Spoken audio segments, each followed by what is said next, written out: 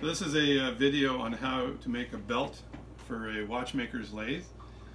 So typically um, you would use a belt, or I've seen people make belts out of this nylon belt material you can buy on AliExpress from China.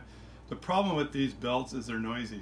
There's a little an edge here when you melt this belt together and it becomes very noisy and um, and these things also snap they're very hard to, to melt together. So, so I've discovered a different way of making belts. Now I've seen the leather belts being made before, like this. This isn't actually an old leather belt, where they had a metal clip in here holding the belt together, and as the as the belt turned around um, within the lathe, it made a ticking sound as it turned, and it was pretty annoying. So it doesn't take much to annoy me. So, so the ticking sound was really annoying. So I said, okay, how do I make a belt properly? So so I thought, well, I could probably sew this together. And I thought of using uh, thread to sew it together, but no, that's not going to work because over time that thread would break. So fishing line, that's the secret. So, so what you do to set it up properly, you you take take the headstock off the lathe. First thing you do is you weave the belt through this headstock. So you've got to do that because if you don't, you would have to take the whole headstock apart to put the belt on and that'd be uh, not very smart so. So you take the headstock here and rotating with the pin in there?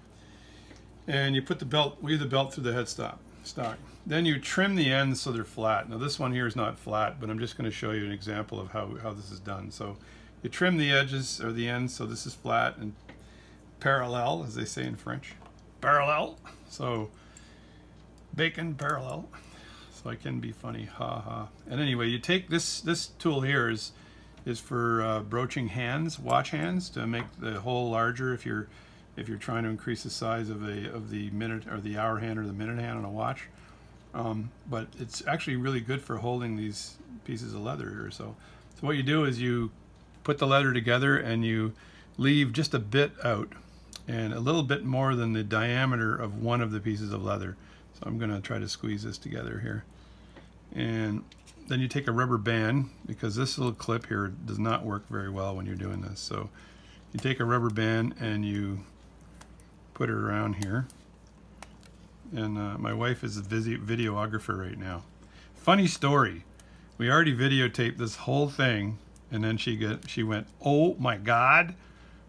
All I did was take your picture. So Not a lot of laughing in the background, okay? So, so you do this. So you've got this clamped in there nicely. Then you got to get yourself a cheap vise from China. Like I, I buy a lot of stuff in AliExpress. Uh, try to support the economy, but sometimes this stuff is so cheap you just got to do it. So, so all you do is you clamp this in at a little bit of an angle. Give yourself a bit of an angle like that.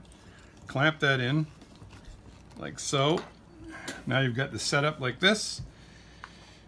Then you take your cutting broach, and I've already done this before, as I told you, but I'm not sure whether the hole's still there. And what you do is you twist that broach in the leather um, until it comes through the other side. It's the best way of making a hole in the leather. You see how that worked? And then you give it a good size hole. And where you start the hole, um, making the hole is actually, you should start the same diameter as the leather. So the leather is this thick, go down the same diameter in the leather, and that gives you enough leather to have strength um, when you're putting the needle through and you're sewing, right? So, so you do that, make a hole in this one, and then you make a hole in the other one, same thing. So this one here, I didn't trim it off on the bottom, but I'm just doing this in the video to show you how it's done. So I didn't measure it properly either, but that's fine. I didn't want this video to be three hours long. So I've got two holes now, like that. And then what you do, you grab your needle and you you put a good enough uh, amount of like length of fishing line in there so you can go through here around five or six times to give it some strength. So I'll just show you, you're just putting it through the hole that you've already made like that and pulling it through and then sewing it on this side and you keep in this one here and you keep going back and forth, back and forth until you get six of these, five or six of those. And once you're finished that, you just then that gives you what did you say? What strength of line do you use? Oh yeah, you're right.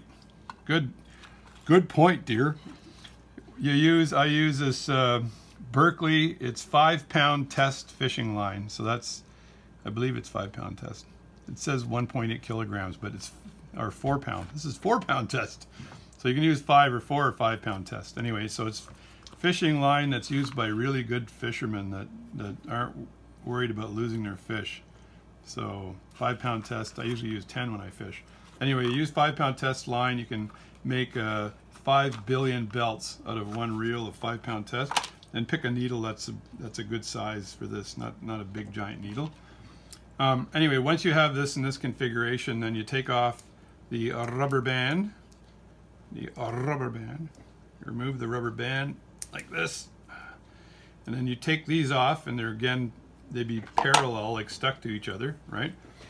Now, if you sew these really tight here, like you make the loops and you sew it really tight, you will not be able to open it like this. So the tip is that you sew it a little bit loose. You make the loops around just a bit loose so that when you open it like that, right, the line, the fishing line is the right um, strength, like tightness, right, right uh, length. So don't sew it too tight, and it's not too hard to do. You get you'll practice doing that, and and then once you've done this, you open it up. Then you've got a belt for the lathe.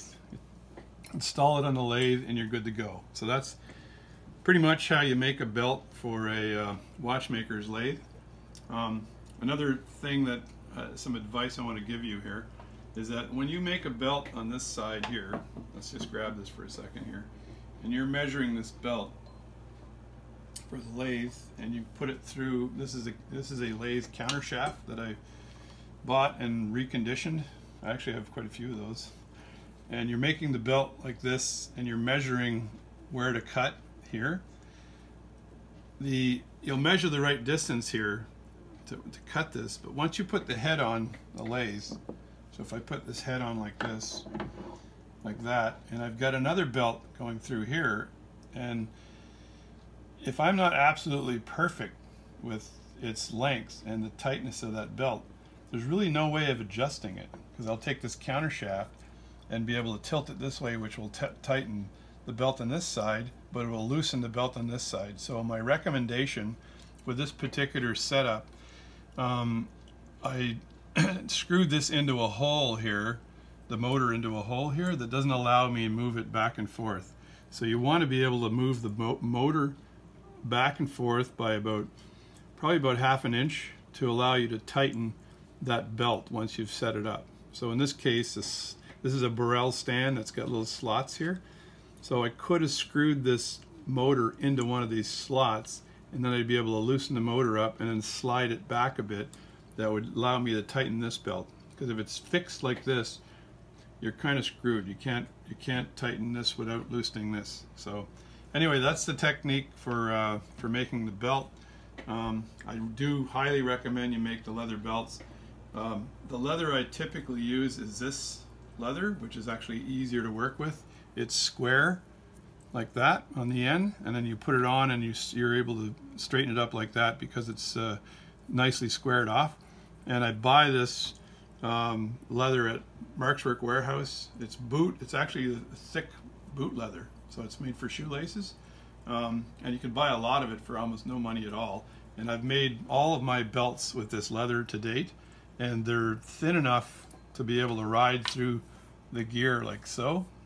And over down here on the, um, on the headstock, they ride very nicely on the headstock like that without being too big and without jamming down below here on the headstock. So anyway, that's how you make a uh, a belt for a watchmaker's lathe. So thanks a lot for watching this. Uh, you guys all look fuzzy because I've got times three glasses on. And if I put this on here, you look even fuzzier. anyway, thanks a lot and I'll see you next time.